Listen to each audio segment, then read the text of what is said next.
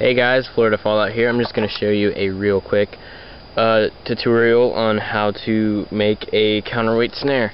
So here you have your counterweight and you throw it over this limb right here. Make sure you have a tree that has a pretty nice limb just like that.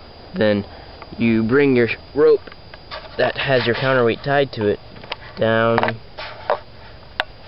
I can't even see it. Alright, so I'm going to start with my counterweights. Now for this, I'm just using these as really an example. For a bigger game, you're going to want to use bigger counterweights. You know, for this, you could probably catch a mouse or maybe even a smaller squirrel. Alright, so what you want to do is you want to find something to tie your counterweights with. I used some leftover snare wire and I tied the rope to the end of it. Holds it pretty well. Now, what you're going to do after that is, you're going to find your tree that you want to place your counterweights on, and you're just going to hang them up.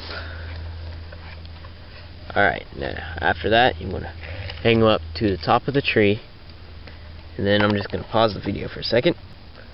Alright, now, when you have your rope with your counterweight set up there, you're gonna get your little Y-shaped stick. Really doesn't have to be a Y-shaped stick. Any real any stick will really work, but I find that Y ones work the best. Now, see where my rope is?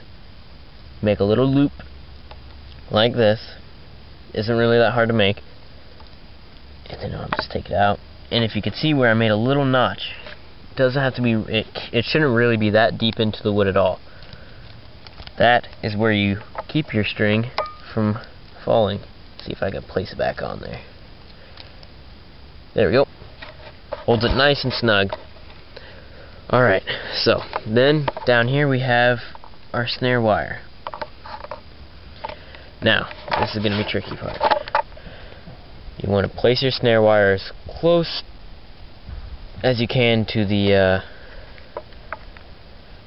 notch in the wood so that way it'd be easier to pulled so it can get triggered easier. Here, you can find a little couple sticks lying around to use as a uh, support.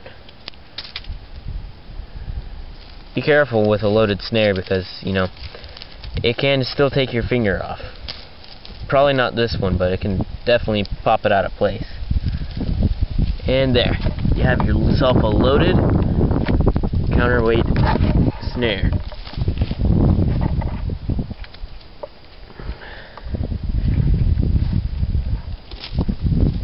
Alright. Thanks for watching, YouTube. Have a good day.